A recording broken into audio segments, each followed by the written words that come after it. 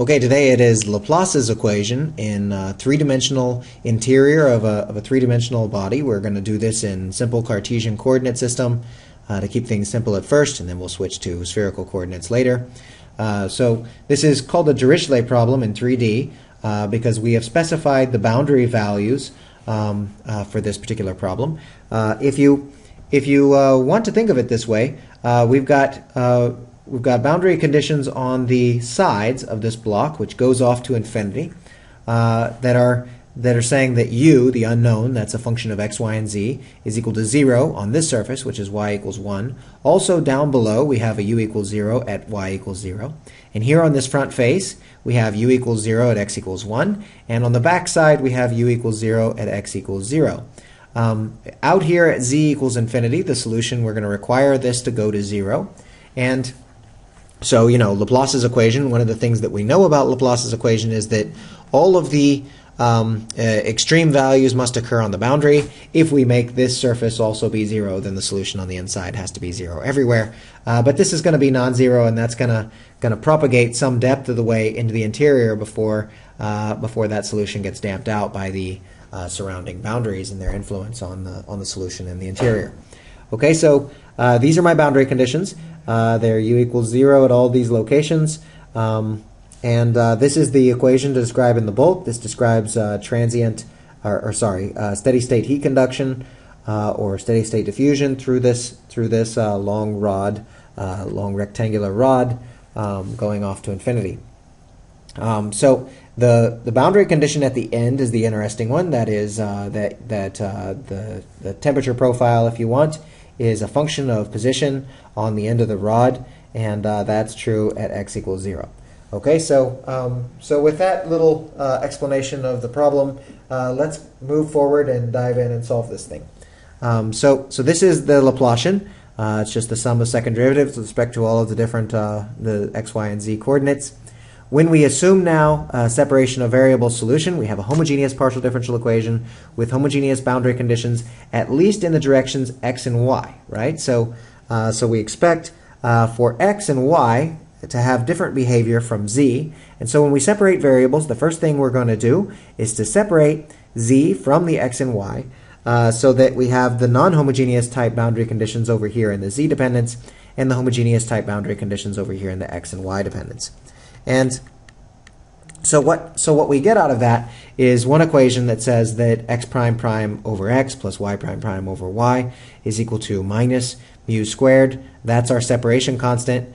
Um, we guess minus mu squared uh, because we want the z prime prime uh, to look like this, right? So z prime prime has this uh, uh mu squared um, uh, prefactor. So this is going to give us exponential solutions, one of which will grow, one of which will decay, and uh, those are given here. Um, so we already can anticipate what the solution for z is going to look like, but we have no idea what these values for mu are going to be just yet.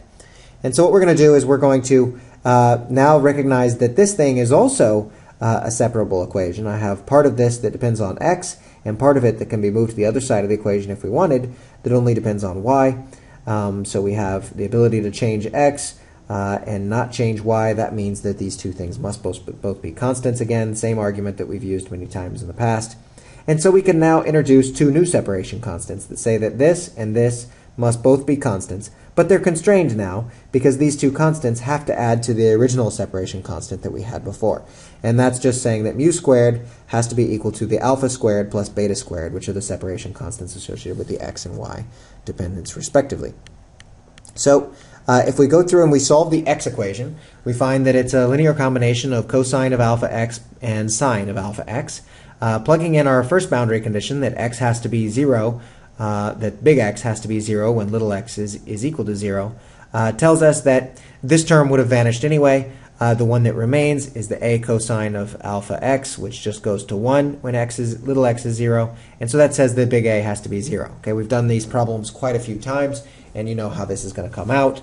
Uh, the, the boundary condition at x equals 1 now is going to require uh, not that we say anything about b, but that we say something about the values of alpha uh, that will make when x is 1, that will make this argument um, a multiple of pi uh, so that it will so that it, the sine will vanish. Okay, so uh, that gives us x uh, eigenfunctions that look like this, sine of n pi x, and y eigenfunctions that look like this, also sine of n pi y.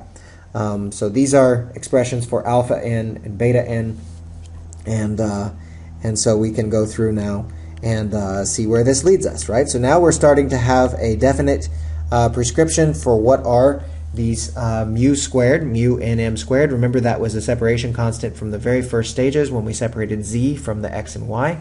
Uh, that tells us now uh, that uh, since mu and m squared has this form, uh, that the z solution is going to be have coefficients that will be dependent on those n and m variables, uh, n and m indexes. And uh, here, here's my exponentially growing solution, my exponentially decaying solution. I clearly want, as z goes to infinity, for the solution to decay. So that says I have to make this coefficient be equal to 0. Okay, so the general solution now, um, the general solution is that I have a uh, double sum over n and m of the coefficient uh, bnm with the exponentially decaying uh, z dependence multiplied by the eigenfunctions for the x and y variables, right? So note that we have uh, two separation constants here that came out of a, a Dirichlet problem with three variables, right? X, Y, and Z. And uh, so that's the typical situation. Um, and uh, typically you're going to need uh, one of those variables um, to describe sort of the interior dependence and the others uh, will describe the eigenfunctions that allow you to expand the boundary conditions in your problem.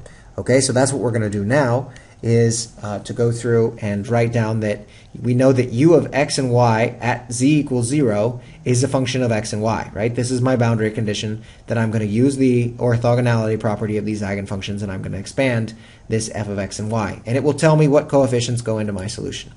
Okay, so I've got a sum from n equals 1 to infinity, sum from m equals 1 to infinity. Uh, when I let z equal 0, this exponential just goes to 1, and my uh, u of x, y, and 0 must become this thing. Okay, so now when I use orthogonality, I'm going to take a particular value k and l. Um, so I'm going to take the uh, the uh, k and l eigenfunctions in x and y, and I'm going to uh, basically take the inner product of this entire equation. And uh, so what that what that's going to do is leave me with an inner product here uh, which really can't be simplified without saying something specific about the nature of this function f of x and y. But on the other side of the equation, when I when I take the inner product of this summation with uh, with sine k pi x and sine l pi y, then what happens is that orthogonality gets rid of all the terms for which k is not equal to l and uh, and m is not equal to uh, n. Okay, so uh, so now we have um, the the ability, so we can actually even separate this, these integrals, the x and y dependence, completely factor into two pieces, and all that's left is bkl, uh, the terms that are that are uh, diagonal terms, if you will, uh, the non-mixed terms, and the um, each of these integrals contributes a factor of one half. Um, remember back at the beginning of the class, we had the little mnemonic for doing those integrals in our in our heads. And uh, okay, so this is bkl uh, now is equal to 4 times this inner product of the, uh, the initial condition, uh, or the, the z equals 0 condition, I should say, uh, multiplied by sine of k pi x, uh, sine of l pi y, and then integrated over uh, the entire cross section of, of the beam on the end. And these are just graphically showing some of the solutions. I've plotted them out on Mathematica, starting with a f of x and y that's equal to 1, right? Uh, so what you expect is that very near the, the tail end, the z equals 0 end, this thing is going to be almost uniformly 1 across that uh, across a cross section of the pipe. And as I move farther and farther out along my squared rod, uh, I'll find that um, the corners get more rounded and uh, the solution in the interior drops farther and farther away from 1 until, you know, when I get out to something like u of x, y at 10, I probably can't tell the difference, visually at least, um, between this function and uh, and 0. Um, so it will have decayed by that time. Uh, okay, that is it.